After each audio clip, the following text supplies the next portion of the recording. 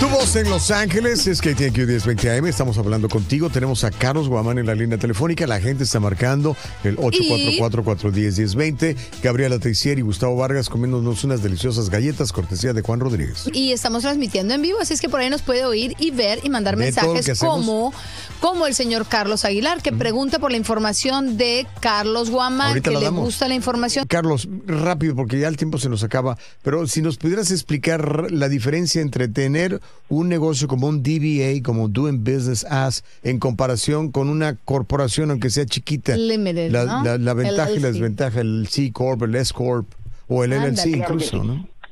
Usted viene y la mayoría de personas van a la ciudad de Norwalk y le dicen, me quiero registrar como negocio y sacan un DBA. Ese es el error más grande que usted puede cometer porque le va a costar alrededor de un 15% más de impuesto porque el gobierno le cobraría lo que es el Seguro Social, Medicare, Disability Unemployment para que usted pague como dueño único. Pero si al cambiamos y se organiza y se registra directamente en Sacramento como una corporación y de ahí la transforma usted en una corporación ese, se ahorra ese 15%.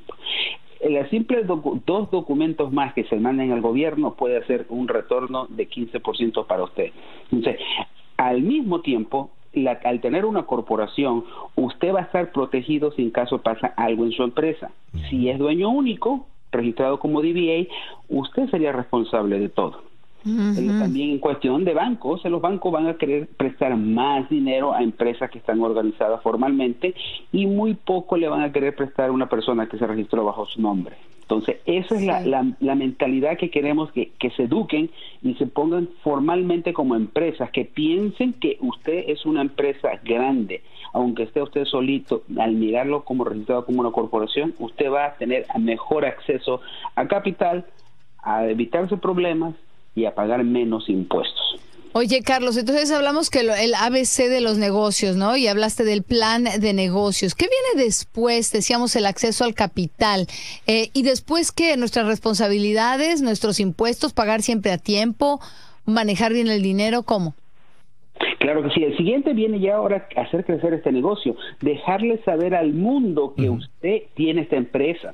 Entonces, así hay que dejarle saber. Entonces, crear un plan de mercadotecnia donde usted va a decir, ok, este es mi grupo de clientes y le voy a dejar saber. Hay ciertas personas hasta que le da vergüenza decirle que es dueño de negocio porque la familia dice, oh, no te va a ir bien. Los amigos le dicen, ya estás trabajando mucho y ya no pasas tiempo con nosotros. No, más bien hay que apoyar a estas personas que están en su negocio. Hay que apoyarlos para que salgan adelante, pero tiene que dejarle saber usted al mundo, tiene que tener sus redes sociales para la empresa, tiene que tener las redes sociales enfocado a, a atraer a nuevos clientes, también en su página de internet, porque muchos no tienen ese, es que piensan que es obvio, oh, la gente me va a buscar, la gente no te va a buscar si no tienes dónde encontrar. Muy bien. Ahí se está- y mira, es un tema interesante porque a veces se nos olvida. Hable, abre un amigo nuestro, un negocio, un familiar nuestro, no sé, una peluquería. Y entonces decimos, ay, ya tenemos dónde ir a cortarnos el pelo gratis.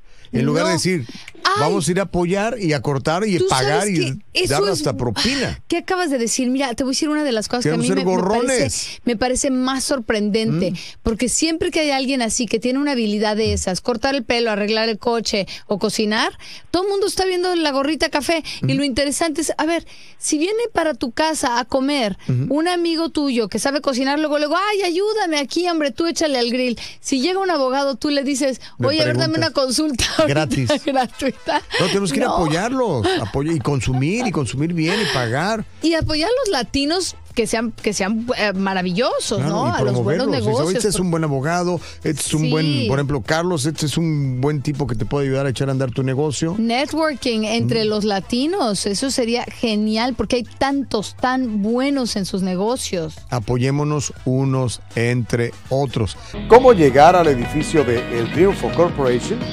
Es muy fácil y práctico. Si viene del área de Los Ángeles, tome la autopista 5 hacia el sur. La salida es en la calle 17. Ahí dé una vuelta hacia la derecha, o sea, el este. Luego de cruzar la avenida Grand, encontrará el edificio de El Triunfo Corporation a la mano izquierda. Puede estacionarse en el área VIP, pero si está ocupada, en la parte de atrás hay suficiente y amplio estacionamiento. Si viene del sur del condado, tome la autopista 55 al norte y la salida está en la calle 17. Ahí dé una vuelta a la mano izquierda. Al cruzar la avenida Tostin, el edificio de El Triunfo Corporation estará a su derecha. Al llegar al edificio, la entrada está a un costado junto al estacionamiento VIP. Tome la escalera segundo piso, hasta el fondo, encontrará las oficinas de El Triunfo Corporation. Ahí, un personal amable y eficiente le espera para atenderle con prontitud y excelencia. Bienvenido a El Triunfo Corporation.